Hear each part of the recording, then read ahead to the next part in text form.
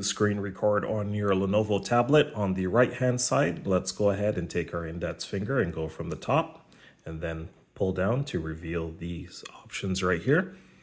Next, let's go ahead and take our index finger and select this line here and continue to pull down until we see more options right here.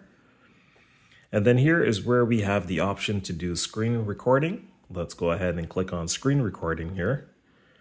Next, we have this nice little icon here that we can interface with and all we have to do is just press on the recording icon and here we have started screen recording. As you can see here, it does have the duration for the video that you're currently screen recording on your Lenovo tablet. And then once you're finished, go ahead and press stop. Now that video should be saved in your gallery.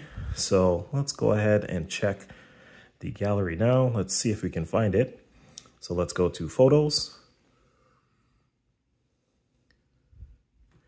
And as you can see here, we now have the screen recording. Let's go ahead and get rid of this actually. There you go. And now we have our screen recorded video here.